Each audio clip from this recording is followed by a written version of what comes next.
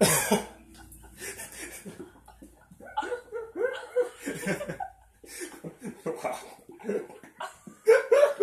Why?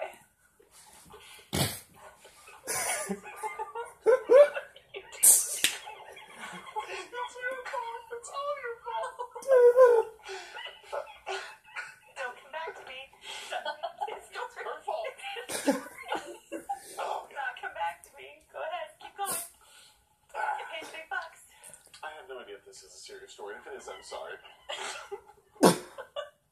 it is? Skip. We're going to the next one. Next.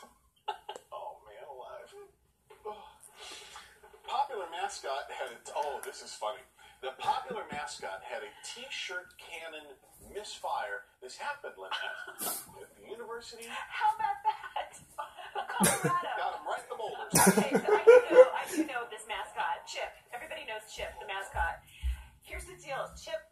The T-shirt cannon in the wrong direction, like you know, Yeah, right in the place where. we're the Rockies. the souvenir blasted him, and he went down and out for the Not count. so Paramedics had to come in. And Chip, though, waved to the crowd as he was carted off, to, off the field. He later reassured his fans, saying, I'm good, guys. Thanks for all the love. Poor Chip. See, the problem is people were like, how could he possibly do that, blah, blah, blah. But